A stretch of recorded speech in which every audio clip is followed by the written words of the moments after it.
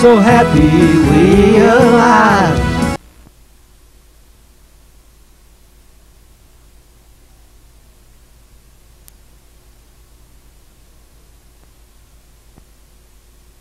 How come you don't use the fold-out screen? Battery. Ah. Okay, hello Louisville. Here we are. This is Patrick Moore at the NORML Conference in Washington, D.C. And I just happened to notice that the distinguished editor of High Times magazine, Stephen Hager, uh, happened to be in the audience and uh, he graciously agreed to uh, say hello and uh, share a few sentiments with us. Um, Steve, I'm glad that you're here and glad to see everything that you're doing. But I can't help but want to take this opportunity to ask you a few uh, oh, pertinent questions, perhaps. Uh, as you know, billions of dollars is being spent uh, by a multitude of organizations to uh, do everything possible to suppress and distress anyone using any kind of uh, drug uh, in America.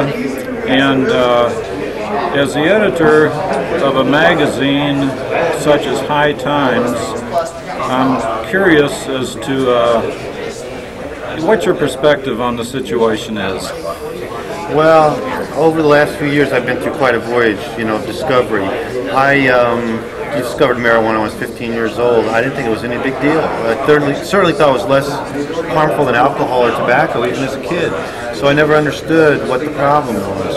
But I later, you know, when I came to High Times magazine, I wasn't a big pothead. I was like a weekend party guy. You hand me a joint, I'll take a hit on it, but I never had it, never paid for it, and really, I mean, I did in certain times of my life, but that wasn't where I was at. That wasn't why I came to High Times.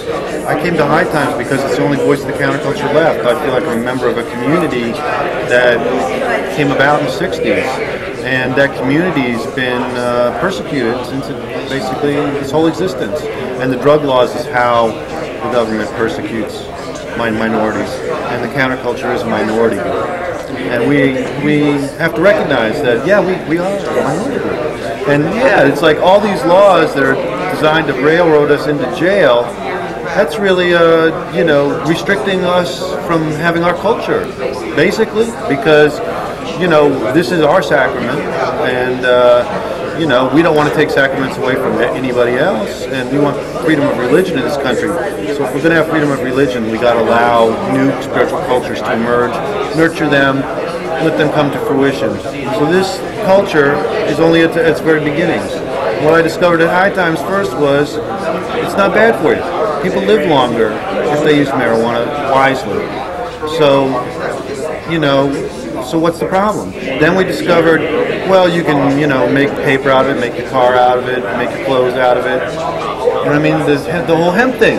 I go, why haven't we been told about this? And then, you know, my my latest thing is the birthing of all the major religions of the world takes place in Iran and India 5,000 years ago, and they're all drinking marijuana and milk. They call it bhang, soma, haoma, whatever you want to say. You can look at the formations of these great religions and you see marijuana cults there. And I believe this is true. It does create spiritual cultures, and we are a spiritual culture. It does play a role in our culture.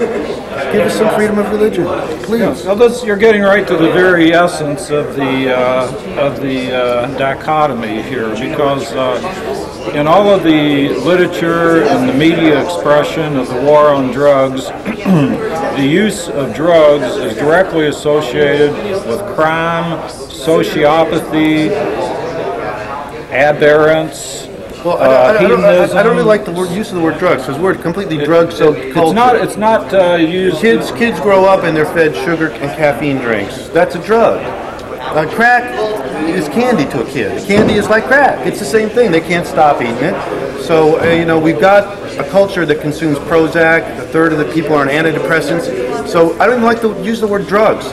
Just just call it medicines because that's everybody's on them. I don't care. You know, some people are popping Ritalin, which is methamphetamine. But when they take Ritalin, it's not called a drug. It's called a medicine.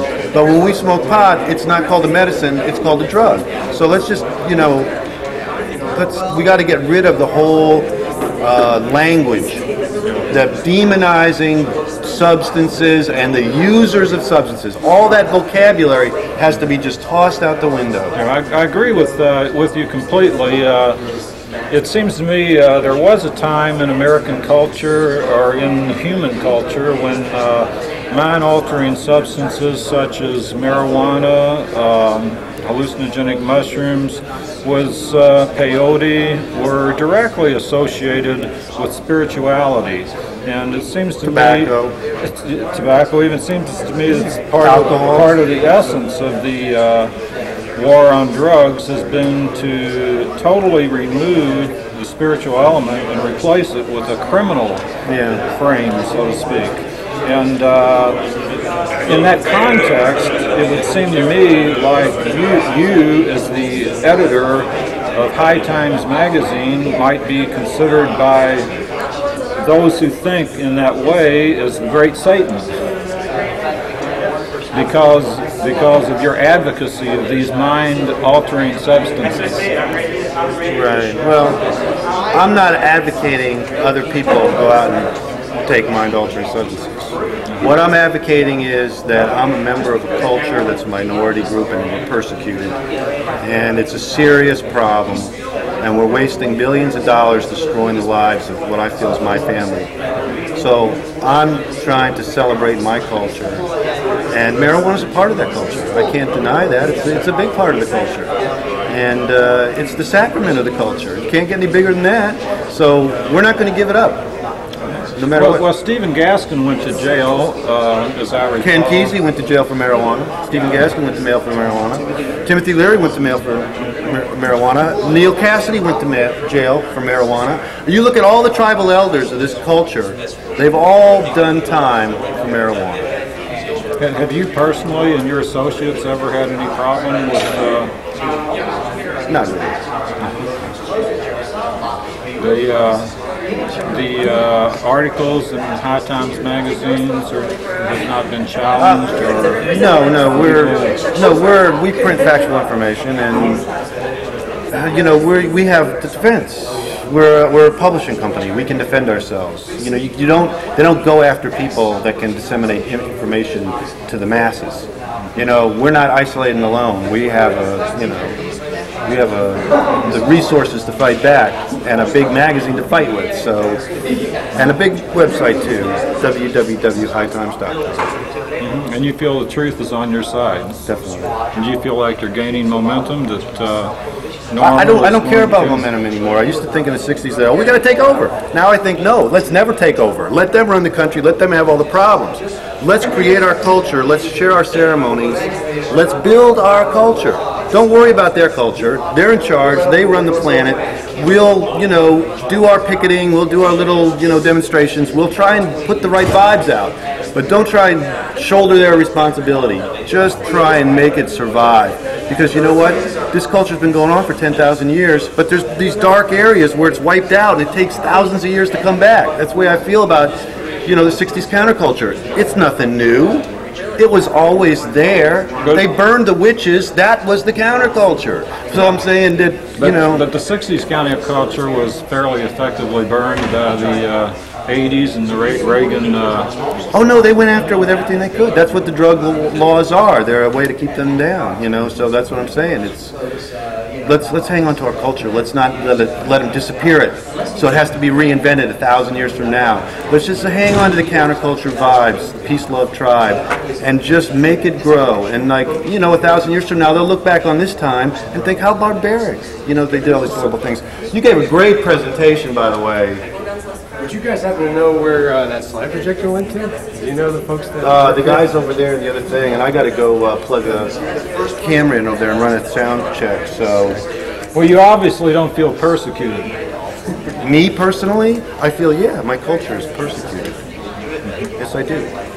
Yeah, But you feel like uh, you feel like I,